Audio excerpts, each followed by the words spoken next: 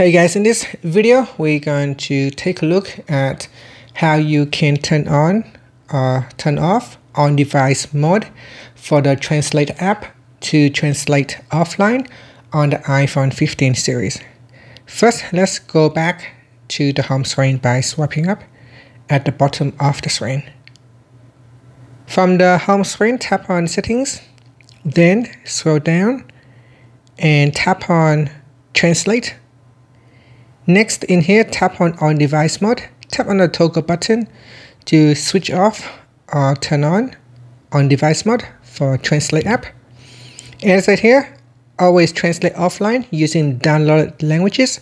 Offline translations may not be as accurate as online translations. Siri and Safari will always process translations online. And that's it. Finally, you can swipe up to go back to the home screen. Thank you for watching this video. Please like and subscribe to my channel for more videos.